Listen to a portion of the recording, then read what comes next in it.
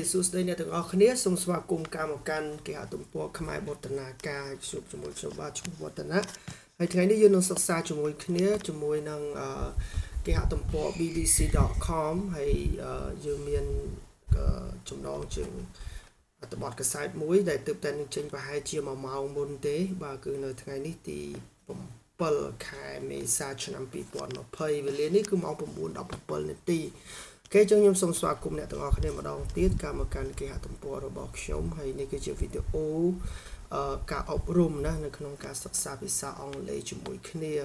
ហើយមុនខ្ញុំចាប់ដើមខ្ញុំសូមអធិស្ឋានទុកជាមុនបើសិនបើមានកំហុសឆ្គងទាំងឡាយណា ដែលខ្ញុំអាចដែលវាកាត់ឡើងណាហើយអឺទើបតែចាប់ដើមដែរទេអញ្ចឹងសង្ឃឹមថា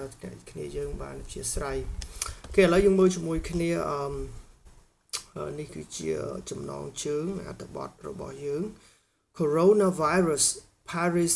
bans daytime outdoor exercise បើអញ្ចឹងគេហទំព័រនេះគឺវាគេនិយាយអំពីអាមេរោគវីរុសកូវីដ -19 ហ្នឹង Paris គឺប្រទេសប្រាំង bans កិរិយាសព្ទគឺប្រែថាហាមឃាត់ហើយពាក្យ ban នេះគឺមានន័យថាហាមឃាត់ហើយបើយើងចង់ប្រើវា យើងអាចបូកជាមួយនឹង object យកត្មងទៅខ្ញុំឧទាហរណ៍ថារដ្ឋាភិបាលហាមឃាត់ការជក់បារីនៅទីនេះអញ្ចឹងយើងអាចទៅសេថា our government um ban smoking បាទអញ្ចឹងនេះគឺកិរិយាសព្ទអញ្ចឹងយើងនិយាយថា our government ban smoking រដ្ឋាភិបាលរបស់យើងហាមឃាត់ការជក់បារីជាទីសាធារណៈយើងដាក់ថា publicly ឬក៏ in public បាទ in public បាទអញ្ចឹងនេះមានថារដ្ឋាភិបាលហាមឃាត់ការជក់បារីក្នុងទីសាធារណៈបាទអញ្ចឹង ban នេះគឺជាកិរិយាសព្ទហើយ smoking គឺជា object ហើយ in public នៅក្នុងទីសាធារណៈអូខេបាទឥឡូវយើងតទៅទៀតអឺប្រទេសបារាំងគឺហាមឃាត់នៅហាមឃាត់អីគេ daytime daytime outdoor exercise daytime មានន័យថាពេលថ្ងៃណា daytime outdoor មានន័យក្រៅផ្ទះ exercise អញ្ចឹងមកគេដាក់ថា outdoor exercise ប្រែថាអឺមានន័យថាជាការលំហាត់ប្រាណដែលវាអឺគេគេធ្វើនៅក្រៅផ្ទះហើយវាពេលថ្ងៃអញ្ចឹងបើយើងប្រែអញ្ចឹងក៏បានយើងអាចប្រែថាគ្រាន់តែយើងអាចនិយាយថាត្រឹមការហាត់ប្រាណពេលថ្ងៃទៅ យើងអាចប្រែអញ្ចឹងទៅយើងយល់ហើយភាសាខ្មែរយើង outdoor exercise ព្រោះមូលហេតុដែលគេដាក់ day time នោះដោយសារតែនៅស្រុកគេគេអាចមាន night time ដែរក៏គេអាចធ្វើ exercise ដែរអញ្ចឹងតែនៅស្រុកយើងនេះមិនសូវជាមានការពេញនិយមហ្មងនៅក្នុងការលំហាត់ប្រាណពេលយប់ហ៎ក៏ប៉ុន្តែឥឡូវខ្ញុំឃើញមានខ្លះហើយយើងអាចធ្វើលំហាត់ប្រាណពេលយប់ដែរអញ្ចឹងហ្នឹងហើយបាទឥឡូវយើងតទៀតអឺតកតងជាមួយនឹង daytime outdoor exercise មានប្រទេសបារាំងគឺហាមឃាត់នៅ ការធ្វើលំហាត់ប្រាណពេលថ្ងៃណាបាទអញ្ចឹងអត្តបទយើងនេះទំចេញប្រហែលជា1ម៉ោងមុនទេអឺនៅថ្ងៃទី7ខែមេសា ឆ្នាំ2020ហើយសង្ឃឹមថាបងប្អូនទាំងអស់គ្នាសុខសប្បាយបាទពាក្យថា coronavirus pandemic ពាក្យថា pandemic នេះវាខុសពីពាក្យថា epidemic pandemic នេះមានន័យថាវាជាជំងឺឆ្លងសកល តែបើ epidemic មានន័យថាវាឆ្លងដែរតែវាឆ្លងជាតំបន់ដោយកាលពី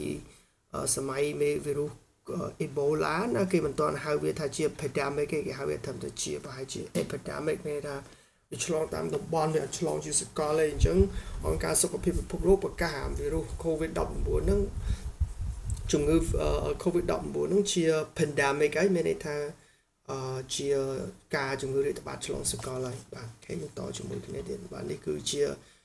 ការហាត់ប្រាណពេលថ្ងៃនៅប្រទេសបារាំងនេះហៅថាអឺបាទនេះគេនិយាយថា Paris residents face further restrictions on exercise នេះប្រែថាប្រទេសបារាំងសំទោសអ្នក ប្រជាជនរស់នៅក្នុងប្រទេសបារាំងគឺប្រឈមមុខពាក្យថា face នេះមិនមែនមានន័យថាមុខទេមានតែជាកិរិយាសព្ទដែលប្រឈម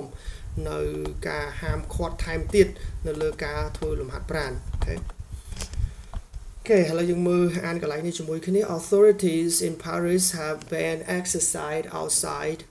during the day as the fight against the coronavirus outbreak continues បាទអញ្ចឹងអាញាធរនៅក្នុងប្រទេសបារាំងគឺបានហាមឃាត់នៅការធ្វើការហាត់ប្រាណណាហាមឃាត់នៅលំហាត់ប្រាណក្រៅផ្ទះឬក៏យើងហៅថា outside during the day មានថាលំហាត់ប្រាណពេលថ្ងៃខណៈពេលដែរណា as ខណៈពេលដែរ fight ការប្រយុទ្ធប្រឆាំងជាមួយនឹងវីរុសការផ្ទុះនៃវីរុសកូវីដ -19 នៅតែបន្ត as uh, the fight against the coronavirus outbreak continues ជំនាញថា ការផ្ទុះឬក៏ការរីករាលដាលនៃវីរុសកូវីដ -19 នោះវានៅតែបន្តនៅឡើយនៅក្នុងប្រទេសបារាំងអូខេចឹងនៅក្នុងនេះវាអត់មានពីអីទេមានតែ fight against តែ fight against នេះមានថាប្រយុទ្ធប្រឆាំងជាមួយនឹងអ្វីមួយបាទឥឡូវខ្ញុំឧទាហរណ៍ដូចជាដូចថាអឺថ្មីថ្មីនេះរដ្ឋាភិបាលបានអឺប្រយុទ្ធប្រឆាំងអឺជាមួយនឹងការរីករាលដាលនៃវីរុសកូវីដ -19 យើងអាចនិយាយថាអូខេខ្ញុំសូមទៅឡើង font បន្តិចសិនអូខេ font ទៅធំពេកអូខេ recently Cambodian government government government has been fighting fighting spell ចឹងត្រូវហើយ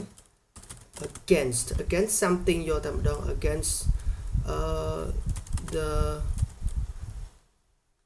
spread of corona virus okay ចឹងថ្មីថ្មីនេះរដ្ឋាភិបាលកម្ពុជាបានកំពុងតែប្រយុទ្ធប្រឆាំងនឹងការរីករាលដាលនៃវីរុសកូវីដ -19 បាទចឹងយើងមើលទៅណា Recently, Cambodian government has been fighting against the spread of coronavirus. Okay. អូខេចឹងឥឡូវយើងមកមើលតទៀតអឺ the news uh let me see to see if it's still going on បាទឥឡូវការបង្រៀនសាក់លបងនេះគឺខ្ញុំធ្វើត្រឹមតែប្រហែលជា5នាទីជាងទេអត់បានយូរទេដោយសារខ្ញុំចង់សាក់លបងមើលសិនពីព្រោះអ្វីទាំងអស់វាត្រូវការពេលវេលាណាចឹងអឺតើដឹងថាយ៉ាងមិនយ៉ាងម៉ានៅឡើយទេប៉ុន្តែគ្នាយើងអាចអត់ធ្មត់ជាមួយគ្នាតិចទៅហើយយើងរៀនមិនទេ The new rules are in force between 10 and 17 local time and come into effect on Wednesday ច្បាប់ថ្មីគឺវាចូលជាធរមាន are in force រវាងម៉ោង10អឺឬក៏យើងអាចហៅថាច្បាប់ថ្មីនឹងមានប្រសិទ្ធភាព are in force ពីម៉ោង10ទៅដល់ម៉ោងម៉ោង10ព្រឹកបាទ10ព្រឹករហូតដល់ម៉ោង7យប់អញ្ចឹងមានថាអត់ហាត់ប្រាណបានទេម៉ោង7 ម៉ោង10ព្រឹកដល់ម៉ោង7យប់ហ្នឹងគឺហាត់ប្រាណអត់បានទេ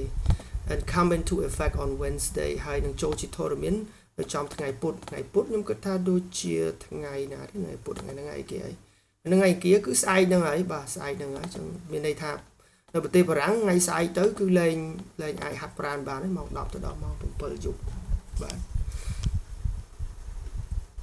អូខេប្រហែលជាយើងបញ្ចប់ត្រឹមនេះចុះដោយសារនាទីយើងដល់នាទីទី5ហើយអឺ Mayor Arne Halango and the chief of police said his this would restrict people to exercise when the streets are generally at their quietest quietest អញ្ចឹងនេះគឺជាគេថាជាអភិបាលក្រុងឬក៏បាទអភិបាលក្រុងគេមើលទៅអានី Hidalgo បាទហើយនឹងហៅថាមេប៉ូលីសណា Chief of Police បាននិយាយថាច្បាប់នេះនឹង ហាមឃាត់ឬក៏រដ្ឋបិទក៏បាន restrict people គេថារដ្ឋបិទប្រជាជនមិនឲ្យហាត់មានថា restrict people មានថាដាក់កំហិតទៅដល់ប្រជាជនឲ្យធ្វើការហាត់ប្រាណនៅពេលដែលផ្លូវគឺវា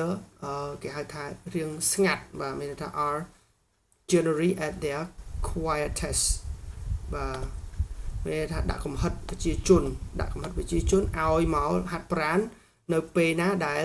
មានន័យថានៅទីសាធារណៈគឺវាអត់សូវមានមនុស្សមានថាវាស្ងាត់ណាអញ្ចឹងប្រហែលជាម៉ោង10ទៅដល់ម៉ោង7គឺមនុស្សច្រើនអញ្ចឹងគេអត់ឲ្យយើងហាត់ប្រាណទេអញ្ចឹង